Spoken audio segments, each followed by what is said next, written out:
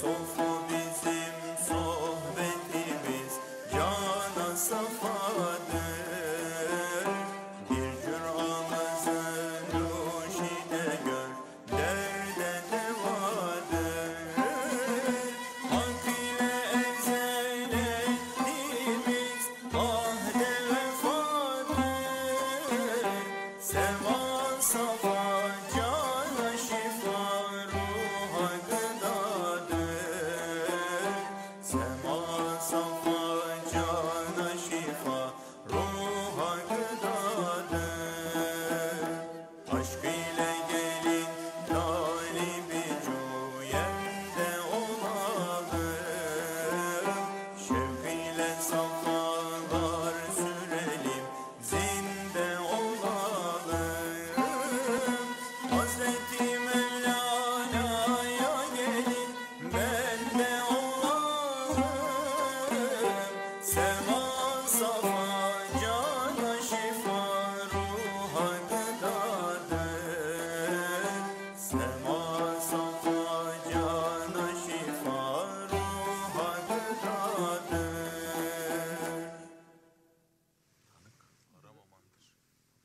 erken yakalandık. Allah razı olsun hocam.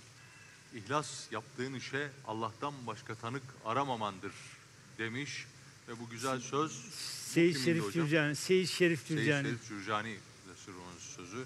Bu da muhteşem bir söz olarak devam ediyor. Ömer Faruk hocam siz ne yapıyorsunuz şu anda? Şu an Filistin mi? Mevlana. Ha Hazreti Mevlana'yı. Evet. Evet. Aşıkın nesi var ise maşuka fedadır dedi Mehmet Kemiksiz. Tam da ona denk düşen böyle siz göremiyorsunuz değil mi Mehmet abi? Bir gel abi şöyle gel lütfen siz de bir görün. Buradan görüyorum. Görebiliyor musunuz oradan? Buradan Güzel bir şekilde. Hazır. Allah herkese bir kabiliyet vermiş hocam. Çok güzel. Maşallah.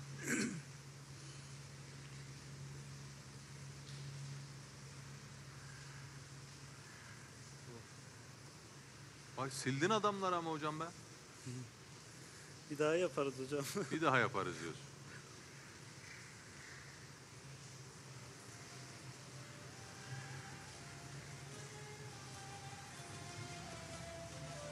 Aa, bu şey oluyor.